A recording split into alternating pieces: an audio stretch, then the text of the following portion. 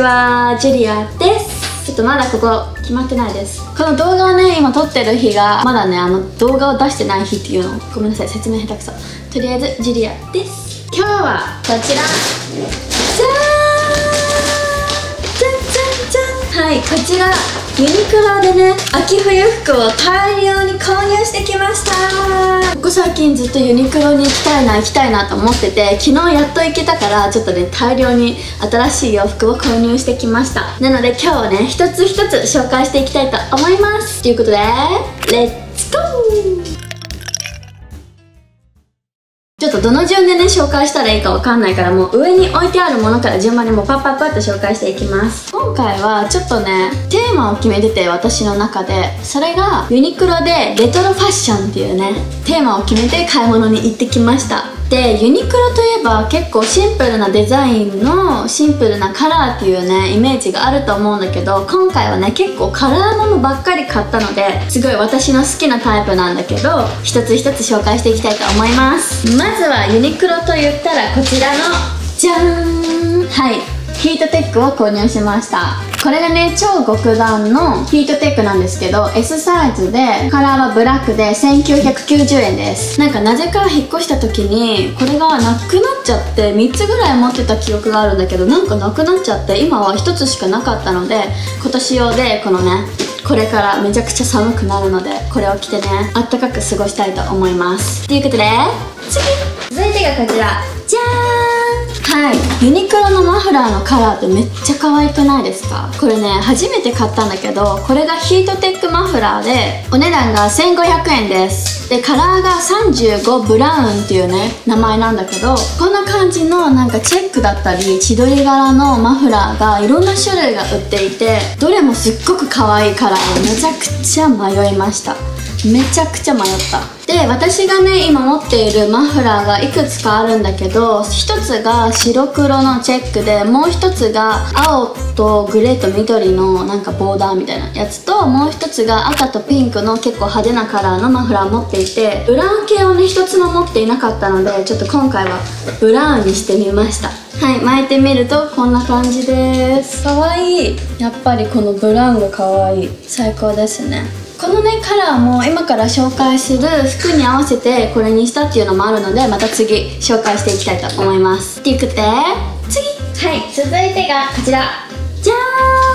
はいもうね冬って言ったらね赤ですよねこちら赤のこちらがエクストラファインメリノリブタートルネックセーターでサイズが L サイズのお値段が2990円です。こんな感じの赤のタートルネックのセーターです。生地的にはすっごく薄い生地になっていて中にねこれを着ないと結構肌寒い感じだと思うんだけどカラーはこんな感じの赤です。ちょっと暗めの赤っていうのかな。で今回ね私 L サイズにしたんだけどなんかあんまりピチッと着すぎるのがちょっと可愛くないかなと思ってこれは中にもねヒートテックとかね重ねて着るかなと思って今回はちょっと大きめなゆったりサイズで L サイズにしました。タイトルネックのね赤セーターっていうのがもう絶対に可愛い。で今紹介してるものたちは最後に軽く着てね動画を撮りたいと思うので最後にまたお見せしたいと思います。ということで次。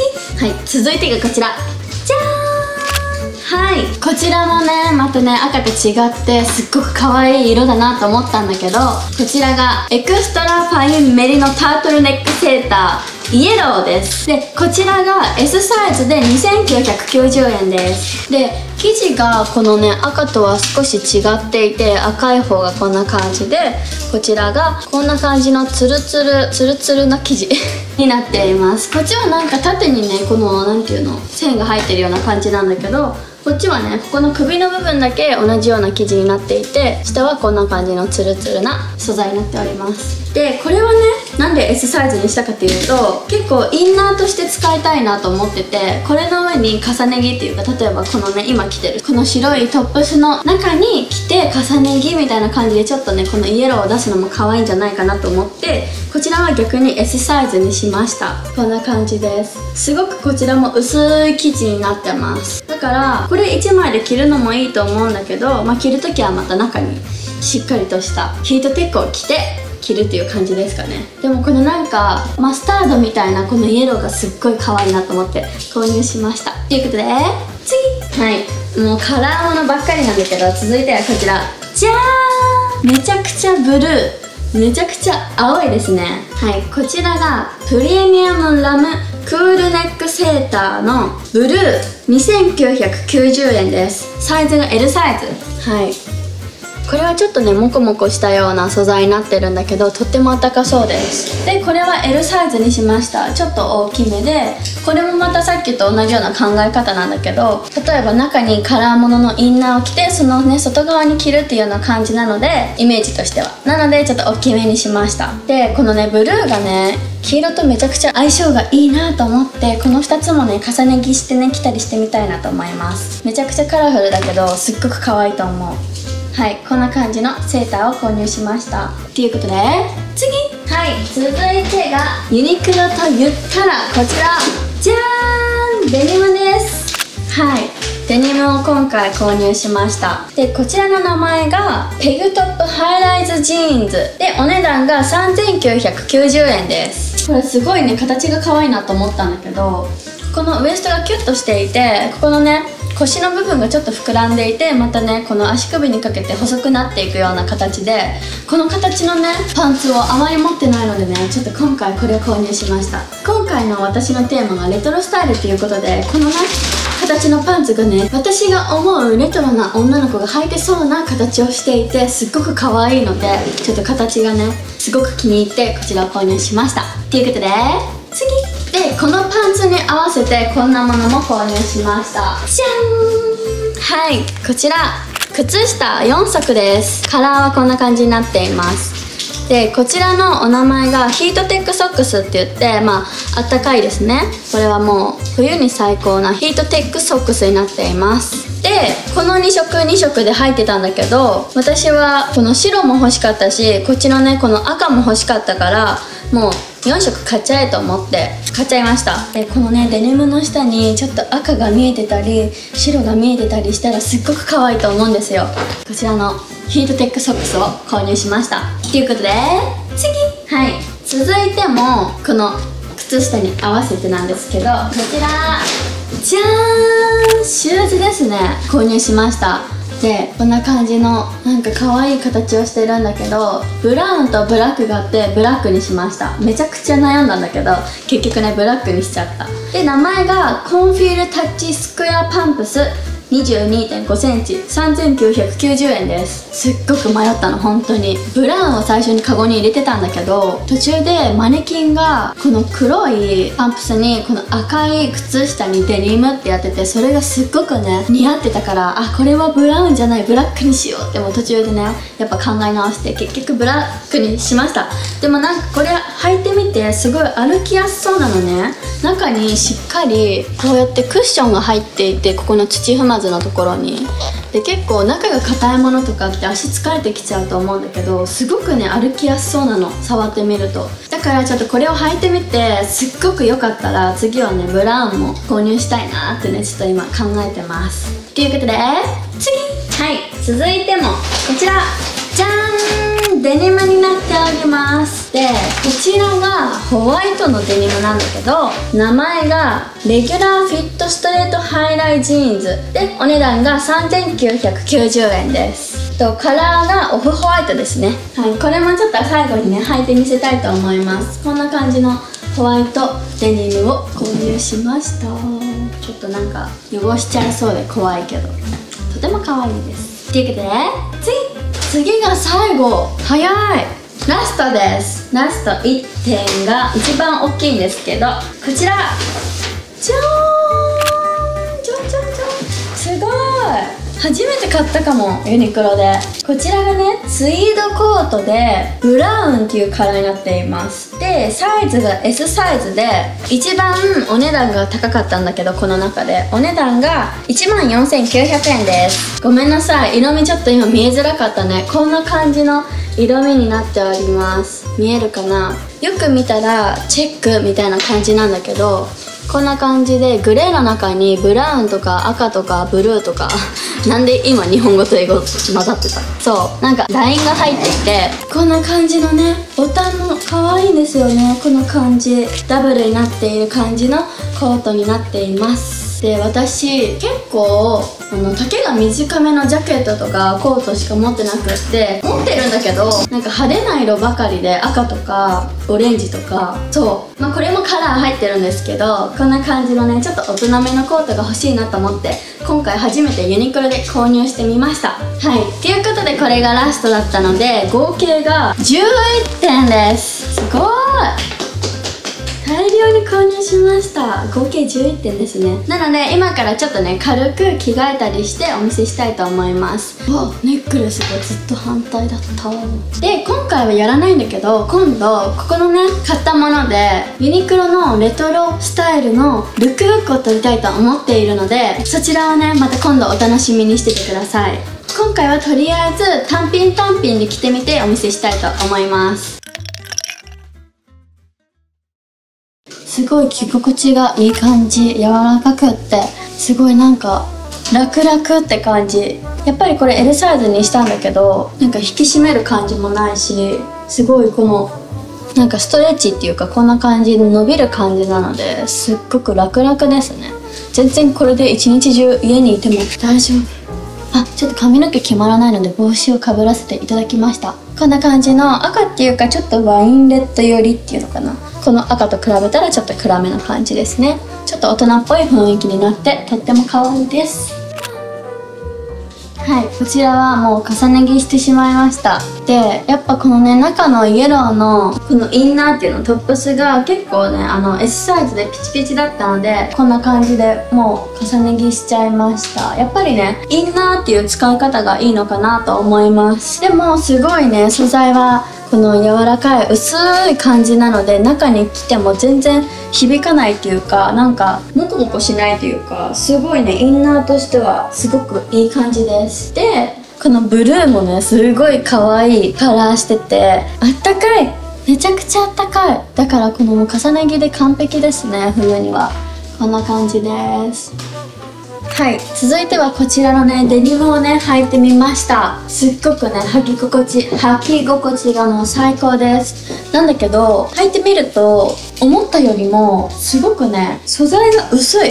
素材が薄くってなんか春用みたいな感じイメージ。パンプスも履いてます。なんか秋とか春とかのデニムって感じ。でもすごいね薄いからこそ動きやすいっていうかこの何て言うんだろう硬い感じじゃなくってくしゃってできる感じ。そうだからものすごくこんな感じでね全然膝を曲げても膝裏がねキュッと痛くならないっていうかめちゃくちゃ歩きやすい。そう。でもちょっと薄いから真冬とかは中にまたユニクロで売っているヒートテックのレギンスだっけなとかを履いてもいいかもしれないですね。結構なんか風通しが良さそうなタイプのデニムになっています。ただすごく形はね可愛くってこんな感じです。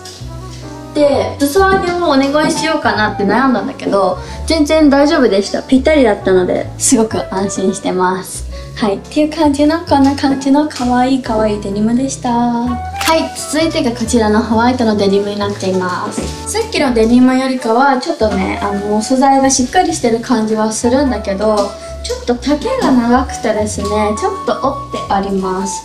サイズは一緒だったと思うんだけどこちらの方が丈がすごく長い感じがしてまあ折っても可愛いんだけどこんな感じで。ちょっと下がちょっと合ってないんですけどごめんなさい。とりあえず今こんな感じで履いてみました。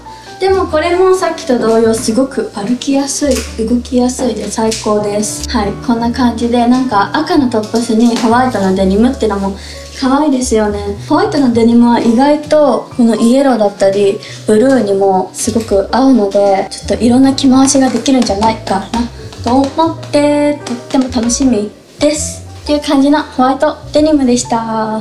ちなみにこのパンプスちょっとまだ新しいから履いてるんだけどすっごく歩きやすいです。今のところねまだここでしか歩いてないけどあ本当にそこは綺麗なので大丈夫ですよ。で静かにちょっと歩かせていただいております。だからいいかもしれないこれ。もしかしたら2色買いするかもしれません。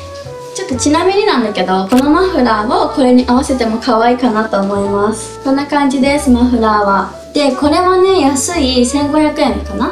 のマフラーなんだけどこの種類ともう一つがカシミヤ素材のマフラーっていうものがあってそちらが確か単色でこのブルーみたいな感じイエローとかねこういう感じの単色のマフラーだったと思うんだけどそちらはすっごい触り心地がよくってお値段が5000円くらいであのちょっと高級なねマフラーも売ったりしています。でこちらが1500円でいろんなちょっと空張りがあったりしてたのでぜひ皆さん見に行ってみてください。こんな感じです。かわいい。はい。最後こちらのコートを着てみました。ちょっとメガネなんかもしちゃってどうでしょうか？っていう感じでちょっとメガネが似合わないから。ごめんなさい。ちょっと、ね、イメージでかけさせていただきました。はい。こんな感じのロングコート。めちゃくちゃいい感じ。可愛くない？このさそうダブルになってるボタンがめちゃくちゃ可愛い。で私は S サイズにしたんだけど本当にぴったりな感じ。小柄な方にでもこんな感じでぴったりかっこよく着こなせそうな感じのコートになっております。でよく見るとこんな感じでチェックになっていて中にね私は今までさっきまで着てたこのねレッドのタートルネックを合わせたんだけどいろんなものが合いそう。このさイエローとかもうめちゃくちゃ合いそうだよ。絶対可愛い。帽子をかぶってみたりとかしたらちょっとなんかイギリスにいそうな感じとかね。なんかロンドン風じゃないけど。こんな感じでめちゃくちゃ可愛いですこのコート。ちょっとお高めだけどユニクロにしては。でもこんなに可愛くってもう安心のユニクロだし素材もすごいいい感じだしでめちゃくちゃあったかいです。なのでこれいいんじゃないでしょうか。でこちらもねいくつかカラーバリエーションがあって私はこれを選んだんだけどちょっと皆さん店頭で見てみてはいかがでしょうか。はいということで以上私のユニクロ購入品紹介でした。いかがでしたでしょうか？本当に今回はねカラーものがすごく多いんだけどデニムも2本買えたし靴下も4足買えたしマフラーもねいろんなアイテムがそれぞれ購入できたのでとってもとっても満足しています。でさっき言った通り今度ねこれを使ったレトロファッションもちょっとレトロになっちゃってるんですけどレトロファッションのルックブックをね私の私服と混ぜて撮りたいなって思っているのでちょっとお楽しみに待っててください。でなんで今回撮れないかというと私ね今ねラックを注文しててルックブックってラックっていうのにねこうバーって後ろにかけて撮るみたいな。たいな感じだからそのラックがまだ届いてなくってちょっと撮れないのでラックが届き次第撮りたいと思います。レトロファッション大好きなのでお楽しみにしててください。ということで今回は2021年秋冬のユニクロ購入品紹介でした。次の動画もお楽しみにしててください。バイバーイ。